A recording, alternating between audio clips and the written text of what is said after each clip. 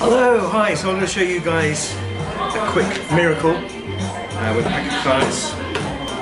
And Paul, could you take one, anyone you like? Yeah, okay. Oh, there we go. Remember that card? Right, let me see. Okay. And if you just place it back here, Yeah. and the rest of the cards go on top. Now at this point, most people say uh, they're all the same. So I'll show you that they are all different. You could have had any one of these cards, yeah? Yeah. So your card's not the queen? No, Uh, is it the six? No, no. Watch this. If I take the six, place it under the box, just wave. Did you see it change? No. On. Check it out. Have a look.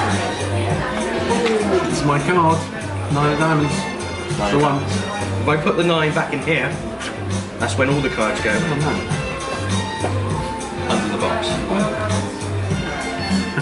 How did you do that?